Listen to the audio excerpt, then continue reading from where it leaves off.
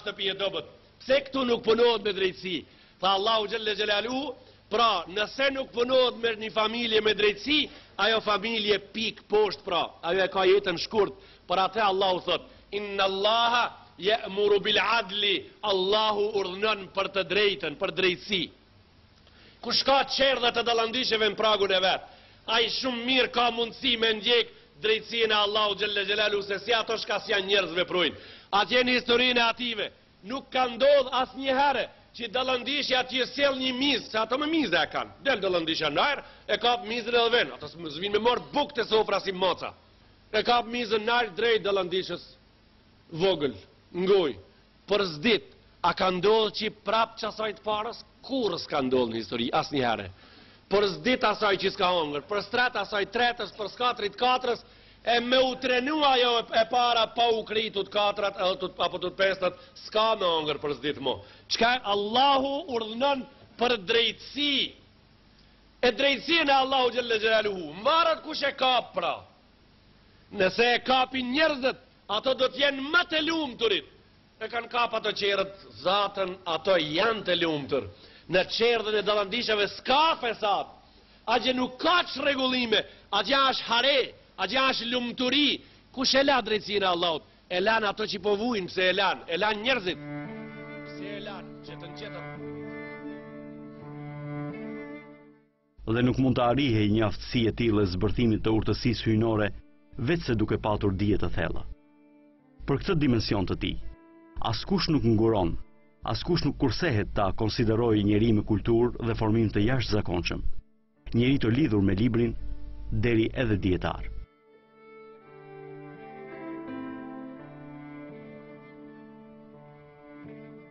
ka qenë një enciklopedist, thot i vërtet. Nëse dëgjon ligjëratat e tij, do shohim se ka vend për studim për të gjitha profilet, si për historian, si për teolog, si për shkencëtar të gjitha fushave të tjera. Në aspektin e diturisë ka qenë i jashtëzakonshëm, i pazavendësueshëm, ka shpjegu Islamin, por besa edhe kur ka hin në aspektin shoqëror, për shembull, kam të drejtë të them, me njerëz të politikës, me njerëz të shkencave të ndryshme, ë? Edhe aty e ka tregu vetën si një dietar i mirëfillt me argumente bindëse. Resulullah sallallahu alaihi wasallam tha në kali dhe ma gata i ka mësuar njerëzit.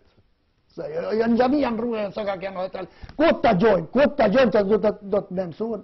Ka edhe sot edhe hoxhallarë dhe intelektualë. Ka të rrallë edhe hoxhallarë dhe intelektualë. Në hadis ka thonë pejgamberi alejhi selam, mautul alimi, mautul alemi, vdekja e një dijetarit është vdekja e botës. Por vendin e atij është shumë zahmet me e zanë kush.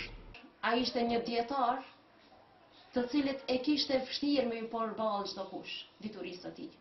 Dhe dihet Se kur humb një dijetar Kur vdes një dijetar Vdes një popull.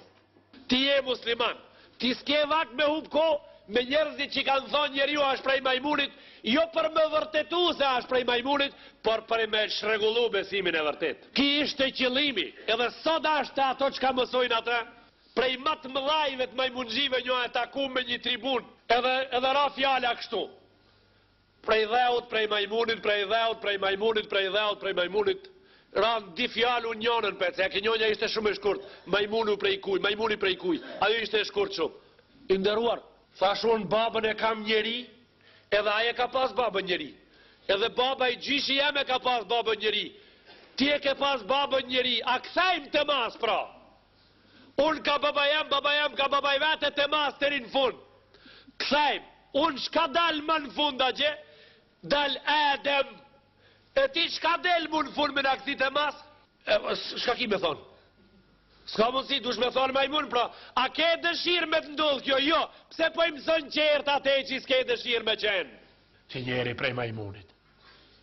Po ti as s'e gjete njo ma të bukur a Po ka pas ma të bukur As s'e gjete Po pse i ngjan Po i ngjan ka qafa Po i ngjan ka ftyra Po i ngjan ka komt Po i ngjan ka veprimi Po i ngjan ka inteligjenca Po unë di gjarpën ma, ma inteligent se majmuni Shkenca e ka vërtetu Ka gjarpën ma inteligent se majmuni Shumë Po unazat e qafës Zhirafën e dinë njerzit S'ka njeri çka s'e din zhirafën Ajo çka ka qafën tetë metre Unazat e qafës i ka për ka numri barabar me iriqin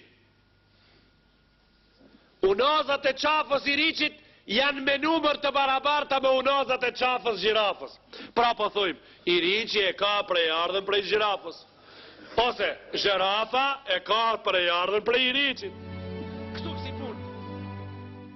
Një tjetër cilësi e Hoxhë Jakup Asipit, e gërshetuar aq saktë me kulturën e thellë.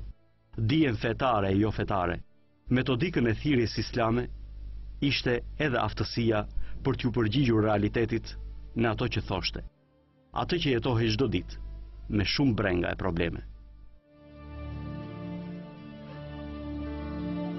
Asnjëherë nuk ka mbajt ligjërata që s'ka qenë e përshtatshme aktuale. Kurrnjëherë nuk e kemi pa hoxhën tu mbajt ndonjë ligjëratë që s'ka kuptim. Ose që s'është e ndërlidhur me aktualitetin. E pastaj ankohu se të varfër na jemi fukara na jemi fukara ankohu e pastaj lip ndihma humanitare Maqedonia treqind e shtatëdhjetë e pesë mijë djem të popullit tim në Maqedoni i ka qit në kokërr shpinës me nji lëvizje të imët me nji lëvizje të imët mua s'ka mujt me ma lujt atë lojë as që ka mundësi Mua s'ka mujt me ma lujt atë lojë, as që ja jap rastin, shansin s'e jap Maqedonisë me lujt atë lojë me mua. Me treqind e shtatëdhjetë e pesë mijë djem më ka lujt pa pa zhurmë hiç. Çka ju ka ba atyre? Për t'i ba të papunë, çka ju ka ba? Jav ka dhanë ka treqind miliard na i thoj ma gje, ka tre mijë dinarë ndihma sociale në muj. Edhe ata i ka vun kejt kokërr shpinës. Luj domina, fli dritën. Rri me llamb e fli me diell. Sepse katër vllazër, kat kat tre kat kat kat tre mijë dinar. Kështu do, 10 mijë, 12 mijë dinar, 12 mijë dinar, po na dalin. Po e ka përcejm. Po e ka përcejm.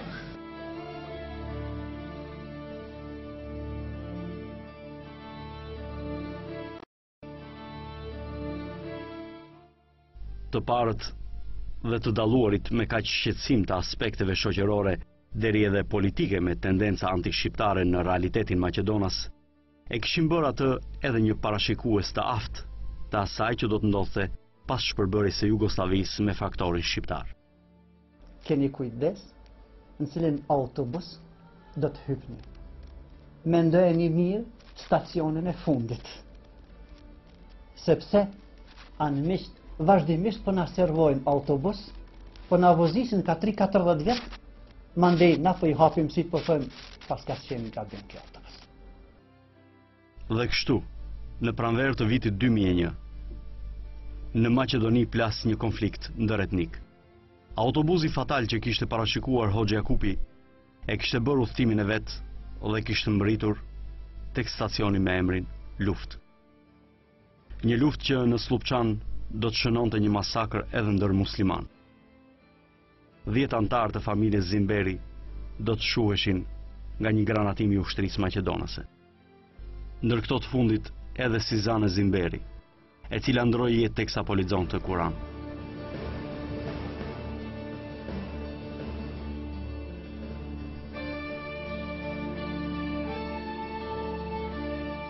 Ndaj për muslimanët, edhe për hoxhën vetë, kishte mbërritur sprova e rëndë e luftës. Nuk mund të ndodhte ndryshe. Mulla Jakupi vihet në krye të saj. Ai nuk ka dashur kurrë, kurrën e kurrës konfliktet, kurrën e kurrës nuk ka dashur luftën, por kur lufta të përfshin vetë brenda, kur lufta t'sulmon vetë edhe të vjen ke dera e shpisë, atëhera muslimani është njeri më i trim. Mulla Jakupi i takon asaj plejade të ulemave shqiptarë, të cilët çështjen e besimit nuk e ndanin nga çështja e atdheut.